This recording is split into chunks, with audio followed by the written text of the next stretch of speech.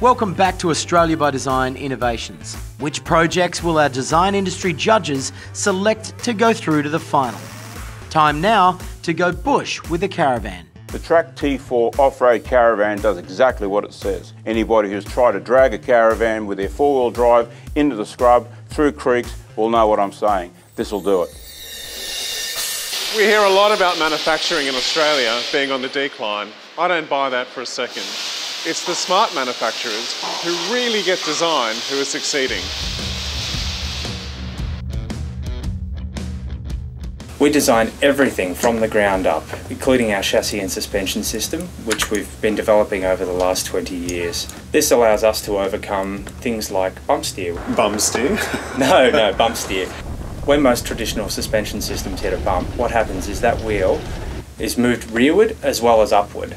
And the effect of that is, is it steers the, the camper or caravan in that direction. What we have is what we call self-steering geometry. What happens is as that wheel goes into bump, it also toes in, which allows the trailer to track straight and behave well behind the tow vehicle. So I guess that's a massive innovation. Yeah, you hardly know the van's on behind.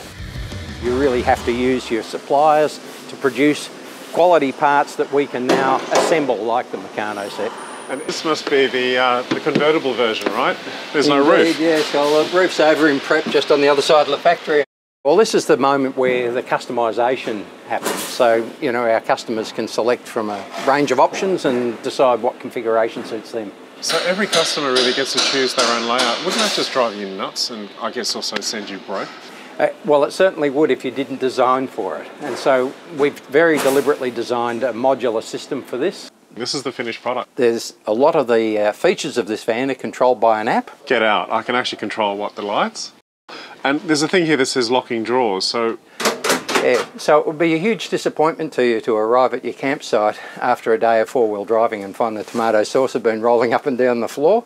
I'll tell you what, the interior of this thing has impressed me, but it is an off-road camper. Can we go take it off-road? I think we better.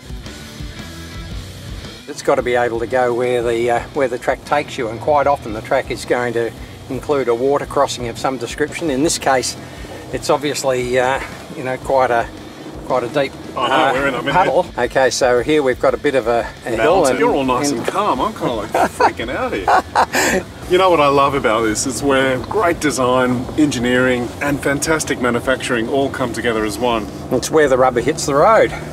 It's where the rubber hits the dirt. Indeed.